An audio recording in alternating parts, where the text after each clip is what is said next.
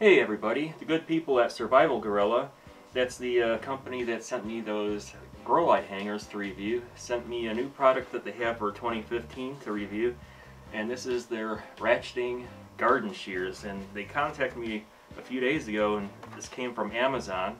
So uh, let's see, open it up and see what we got here.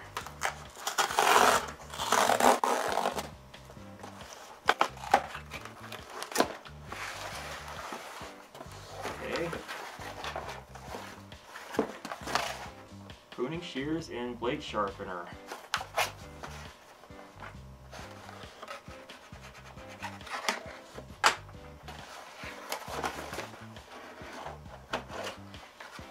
Alright, here we go. What they look like. And this must be the sharpener. And what's this?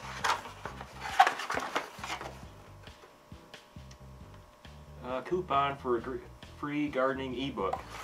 So we'll check that out too. So let's put this to the test and I'll give you a closer look at it. Okay, I've been messing around with these things for a few minutes and let's get a closer look. Here is the locking device that holds the blade shut for when you're not using it. And right here is the ratcheting device. Let me zoom in on that.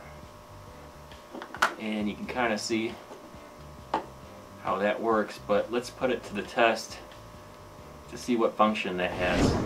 Just for comparison, I'm going to go up against my old garden shears. These are Friskers. I had these about 20 years against the Survival Gorilla. And one difference in the blade I could see, there's less space on the Friskers and bigger space here.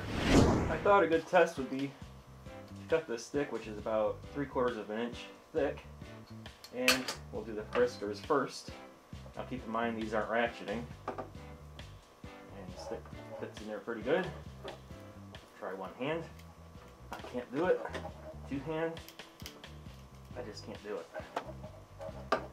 So let's try the Survival Gorilla ones. And fits pretty far back in there. And here you can see a ratchet. I'll kind of show how that works. So I'll just do it one-handed. Go in a little bit, ratchets, go in a little bit more.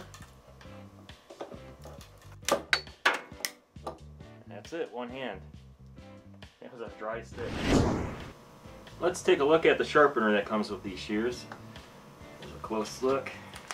And it's about the size of a pin. And it unscrews like this. And that part comes out. Flip it around, put it back in. And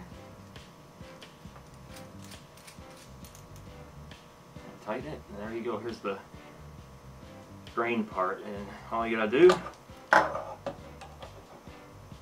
put the flat part against the blade. And do that for a bit, and then flip it over and do the same thing. This is pretty handy. I'm going to use it on other things, like my other friskers. anyway, let me show you what else I'm going to do here. Let's test it out on these dandelions. These dandelion stems are pretty thick.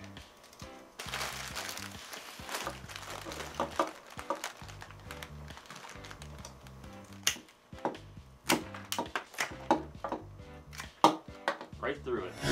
These should come in handy in the fall for harvesting squash. It goes right through.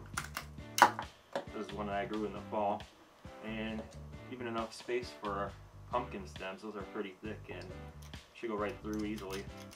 Anyway, wrapping it up. It's a good product. I'm happy with it and the sharpener makes it all the better.